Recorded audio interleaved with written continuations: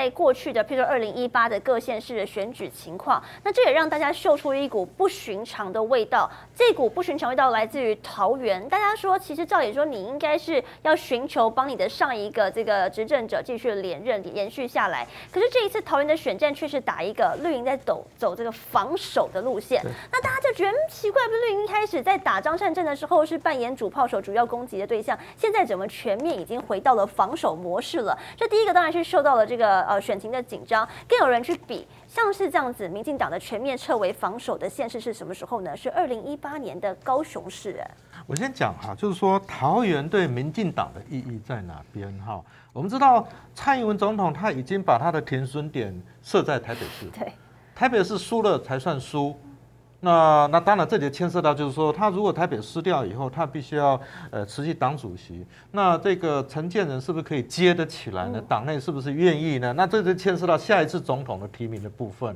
但是桃园的部分，它有一点点是你们家的事，是新潮流的事。那当然，这又回头讲说林志坚的事情会爆发，小英那边应该是耿耿于怀了。因为蓝营不可能知道那么多嘛，一定是绿营的搞鬼嘛。那也就是说，小英要呃这个哈新潮流把桃园交出来，地盘交出来。那这个呢，当然新潮流是不愿意。所以这里就牵涉到，现在小英说，那你们自己新潮流自己去决定要或不要。如果你如果赢的，如果能连任的时候呢，那当然也许我们呃这个哈郑文灿就可以来当行政院长。那万一输掉了以后呢，那是谁要来接呢？到底是呃陈建年接呢，还是苏贞昌来接呢？好，我想这里没搞好，这主要是在这里，所以有点是黑丁大卫等级的。好，OK，赢了也不怎么样了，输了你自己去负责任。好，那回头讲说，看起来他是守势，也就是说到目前为止，他只有唯一的就是打张善政嘛，对不对？所以这里有可能有两个，第一个是老型仔仔。也就是说，呃，这个他过去呃八年来的绑桩割喉，其实相当的用力。我们大家都知道，郑文灿就搞做人的啦，哈，OK，好，他可以 double triple，坦白讲，哈，就是就搞这令人刚亏水的货了，哈，所以他现在是在验收了。第二个呢，对于这个哈呃新潮流来讲，因为现在全台湾里面唯一还可以土地可以炒作的，就就是剩下桃园。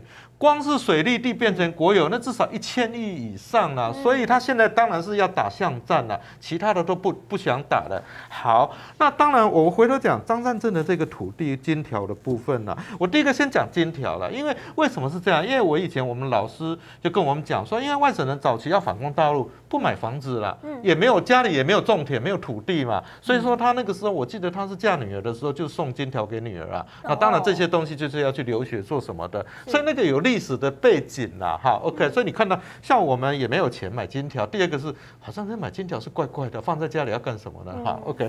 第二个土地的部分，刚才汉庭委员也提到这个部分，就是有一些是持分嘛，那里面的那个你知道那个要卖那个印章其实收不拢、收不齐的，根本卖不掉了，哈，OK。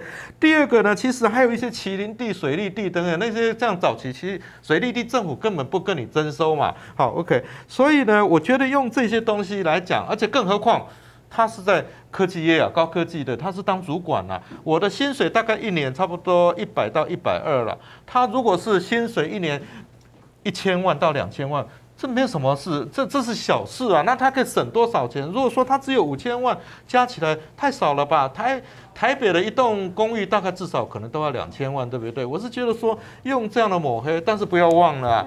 那民进党多少偿付渔民的那些东西啊，那些东西、那些计划不工程等等，到选举的时候就开始，你知道，就是抽头啊等等，分工等等，拆账等等这些东西啊，那是我们才看不到的啊。对。所以我是觉得说，你去抹黑一个高一郎，其实是啊，甚至不武了。是没错。那上一次呢，要用这样人人数的灌水再灌水，或者是说呢，不断的试出现场的照片出来澄清，说他们的人到底有多少人的，其实也是桃园那一次。啊，当时不是就被说呢，这个变迁都流出来了，好要号召北桃园、南桃园要分别征召多少的游览车来到这边集结吗？所以因此，小新议员真的就是不断的看到他们有多紧急，然后桃园这场有多需要信心喊话，以及做出一个基本的气势来。好像是这两千四百人的场子，这当然是这郑克爽他去算出来的啦。就一个棚大约抓是四百人，那六个棚可能是两千四百人，那不是他把它吹到是一点五万人，果然是好运棚啊！啊，这一棚都。都是无限的膨胀。呃，但是其实因为选举你们比较懂嘛，像这样类似的场地也是你们搞得比较清楚。呃，有这样的状况，果然桃园是真的选情拉警报，才需要不断的撞声势吗？哎，对不起哦，我不知道我们的观众朋友没有有没有人玩过一款游戏叫做明星西餐厅哦。然后那个明星西餐厅里面呢，有就是这卖东西吃的，那就是就很多座位嘛，然后你可以让那个外面的客人然后来买你的食物。然后呢，它里面有一些这种叫做什么有 bug 哈，你就是用一些那种那种那种魔术手指哈，它就可以变成是把两三张桌椅呢叠在一起哈，大家可以在一个一张椅子可以坐四个平行时空用餐哈，一桌本来只能坐两个人，可以一桌坐到八个人哦，大家都坐在对方的身上，越叠越高。这个棚不就这个意思吗？不，这个棚就真的很小。我们一般叫这个帐什么呢？接龙帐哈。那接龙帐呢，一个一通常一个棚你就是放个两三桌，我没有在现场，没办法直接看说它的桌数是多少。是，可是这个郑克爽他已经非常清楚的去算了，甚至你可以去跟张善政的场子哦，来大家看我的手机去做比较嘛。如果二点五万人的造势现场椅子排成这样，你说在这么小的一条道路上面，怎么可能塞进一万五千人呐？你是要从路的头排到路的尾才有这种可能性嘛？所以哎，不要说四叉猫算椅子，其实也会现在会有一些小编什么的去算椅子，甚至来大家看看里面的照片哈，哎，连里面你看它这个帐篷之下都没有坐满呢，椅子是空空荡荡，你看。现场人数零零落落，然后呢，空成这样哈，然后呢，支持郑运鹏的人中间都走光，所以你看，在这一顶好运帐篷之下，里面很多的椅子是空空如也，根本没有人坐在上面的。所以这里最大的一个是什么呢？来给大家看，最大就是这一台啦，哈，这一台重量级的读稿机有没有？我们还要因为下雨要帮他包保鲜膜哈，就怕他呢可能被水浸湿。了之后万一坏掉了怎么办？蔡总统要来，一一在台上，如果念不出东西就死定了。万一没有稿子翻，他整整个演讲就泡汤。所以你看，在整个郑云鹏的活动当中，因为蔡英文要来嘛，所以最重要、最宝贵的不是帐篷，不是椅子，不是人数，不是背板，是这一台超级大的民主读稿机。是。那我们也要在此正告一下，我们有一位网友叫做许文正嘛，他就说你讲那个明星西餐厅这个游戏年纪都出来了，我要正告的原因是因为我跟小金元同年啊。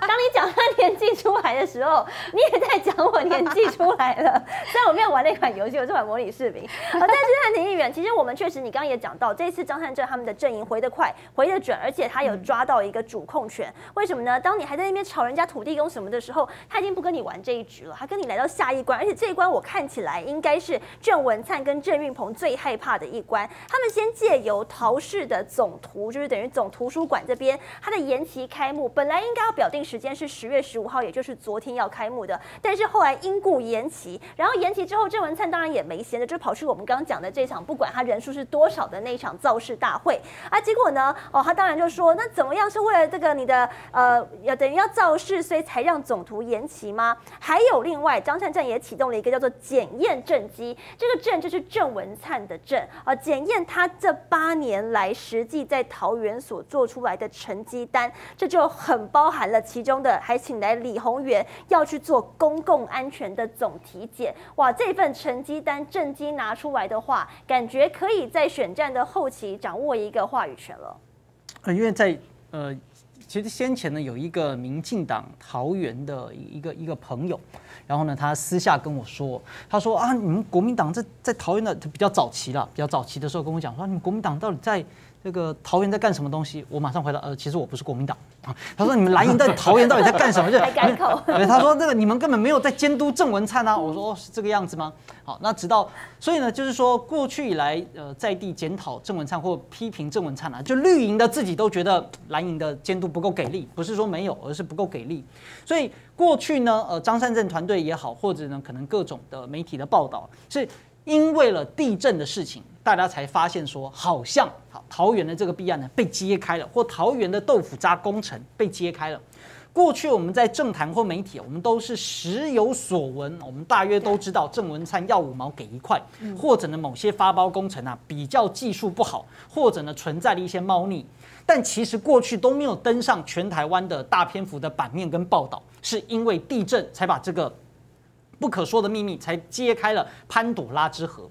所以我认为张善政延续的这个议题，重新连结说包含他的图书馆或者是其他的场馆，这是让整个从豆腐渣工程的这个就是羽球场到现在是要让大家有印象感跟连续性。对否则的话，大家就忘了。如果你现在跑去打一个别的什么东西，假设就是就打什么正人赛，就其他的东西另，开战场那是另开战战场的话，那跟豆腐渣工程没有连结。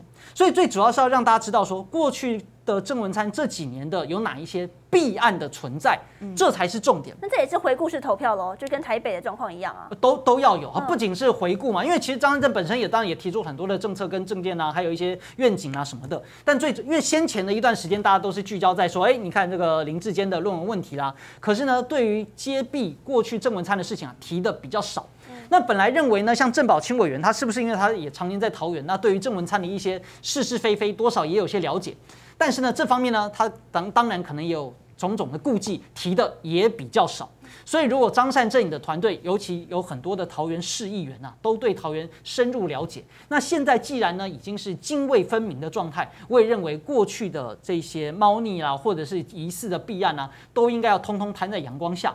就算没有涉及到具体避案的问题啊，没有法律上避案问题，但哪一些的失政啊，就是缺失的失跟语政，哪一些不良的政绩，也都应该是要有一份完整的揭的揭露跟报告。其实过去很多议员的整理都已经有了，那也当当然呢，包含像我们新党在中立的市议员哈，游志斌市议员候选人是，好，他呢也曾经做了整理，只是可惜媒体报道不多。但我认为这些都应该可以是让所有的人就全部都整理完之后，类似的懒人包也好，以及宣传的形象跟宣传的效果，才有机会公诸于众。